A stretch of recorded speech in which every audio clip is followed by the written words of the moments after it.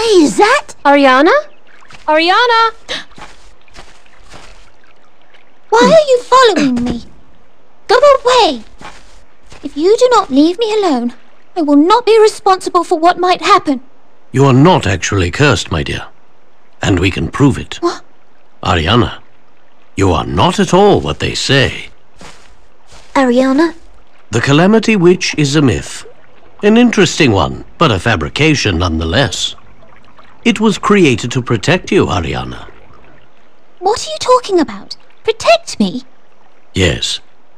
I understand why your protector kept you in the dark all this time. What? It was better all along that you did not know. The one behind the curse was none other than...